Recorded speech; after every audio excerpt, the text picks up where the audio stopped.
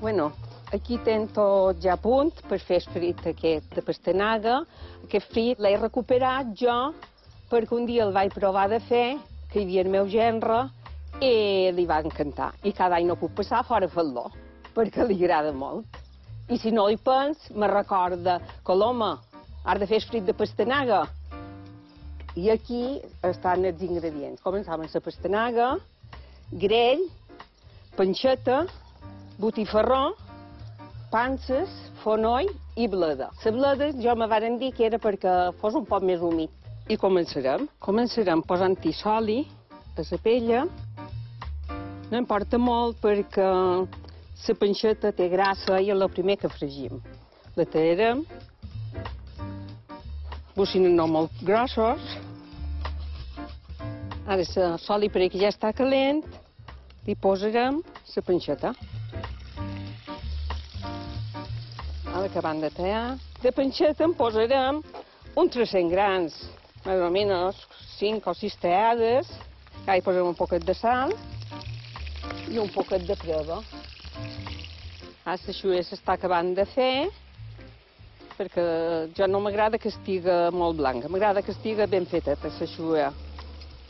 Aquesta recepta, mo mare sempre la feia. I jo, quan era nina, no m'agradava. Quan vaig tornar un poc més gran, sí, perquè la verdura va començar a agradar-me. I quan ma mare se va morir, vaig deixar de, de fer-la, a la recepta. Però llavors un dia, clar, com vos he dit, va venir el meu gendre i la vaig provar de fer. Li va encantar i cada any la faig, un pic o dos. L'època de les pastanagues eh, és ara aquest temps. I clar, aquest plat, en aquell temps, es frit, només se feia per a Pasco, es frit de me. I clar, tenia enxua de que havien fet les matances i, i el botifarró. I per no fer-la de verdura tota sola, de pastanaga tota sola, hi posaven un poquet de xua i un pot de botifarró. Aquesta xua, com veus, ja està ben doradeta i la retirarem. La posarem a dins la greixonera. I ara dins aquest suquet després hi posarem el botifarró. Però això és el que dona el bon gust a la pastanaga. Aquí tenim el botifarró, el tallarem, així a rodetes. Ara ho duim a la pella, li donarem una miqueta de, de volta dins aquest oli, o aquest greix, que ha mullat la xura.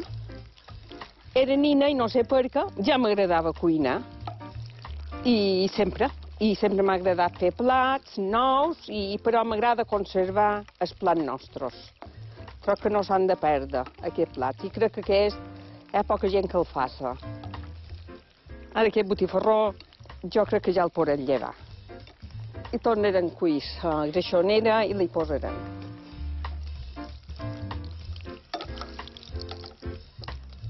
Ara, després de tot això, hi posam la pastanaga. Aquí la tallarem, ja la tenim neta. Aquesta és perquè se vegi la rama, com és la pastanaga. La pastanaga té una cosa, que tenyeix un poc la mà. Molt vermella, com veus, de dins. Quan veig un plat que m'agrada de huec com anem, sempre procuro fer-lo i me sol sortir bastant bo. I ara m'ha quedat pendent fer un que va sortir, que és d'unes auberginis.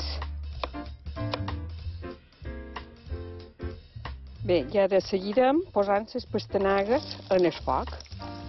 Esperem en dues vegades perquè amb una vegada llavors n'hi haurà massa i no couran bé. He posat un quilo de pastanagues. He afegit un poc més d'oli. Com vos he dit, les mans queden super tacades. Com veus aquesta pastanaga, per que ja comença a estar bé, la llevarem, la tornem a posar en la greixonera.